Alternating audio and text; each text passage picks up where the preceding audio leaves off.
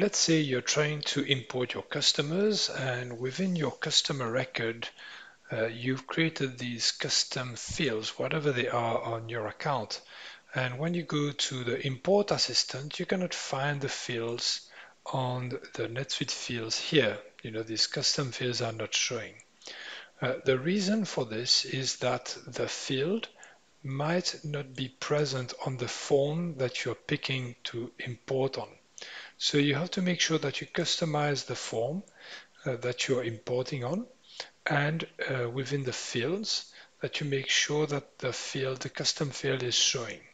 So if it is showing, then you, it should appear within the import assistant. Okay, if it's not showing, then it's not uh, going to show. Now you could change the form. That, that's one possibility. Instead of uh, showing a field, you could uh, just go to the advanced option on the import and then change the form that you are importing on and change it to whatever it needs to be. Okay, because maybe on the demo form the fields are showing, but maybe on the standard one it's not. Okay, so that's the way to uh, fix this problem. I hope this uh, made sense to you. Uh, if it did, don't forget to leave a like or subscribe and see you on the next NetSuite video. Thank you and goodbye.